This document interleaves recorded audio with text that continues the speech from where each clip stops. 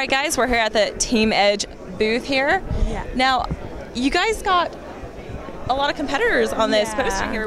So, what is Team Edge? Um, Team Edge, uh, we, I, we founded Team Edge, me and my husband, after I stopped competing. Um, we still wanted to be in the industry and we started preparing competitors. We did really well at our first show and that really kept us going. And now we have one of the biggest teams in California. So we're just so. and what did you compete in?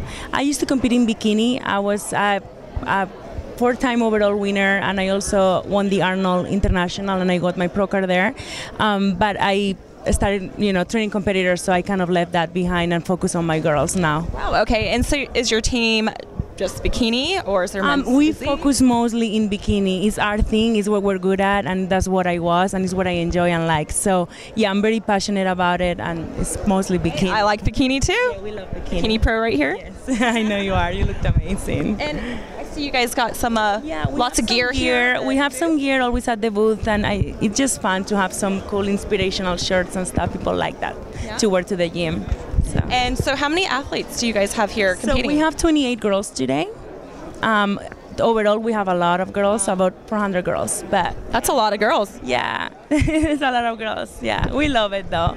So, what kind of advice do you give to your team here while they're nervous and the an- anxiety's going um, backstage and before they go on? So I try to stay really positive. Positive. However, I am very raw. I'm very honest with them. I think they need to hear, you know, because this is a very competitive show. You have to be. They need to hear what they have to improve and what they could have done better. I feel if they have given hundred percent, they will not be as nervous and as you know. So when they're really struggling backstage, I always question them. Did you give hundred percent? And sometimes they're like, so you know. But but Well, it'll definitely show on stage. Definitely show, and this is a show where you have to give 100%, and even giving 100%, you know, you never know because the competition is out of this world. Every year, the competition gets higher and higher. There's no room for error. there is no room for error, and, and I think it's a big learning lesson to a lot of competitors when they face their first national show.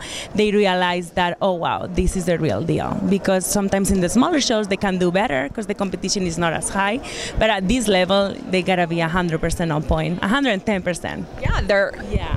pro cards are up for grabs here. Yeah, yeah. So work hard and hard work, work always wins. Only that. Always show on stage. That's right. Always show on stage. Yeah. Well, there you go, guys. Team Edge. That's what it's all about. Bye. Thank you, guys.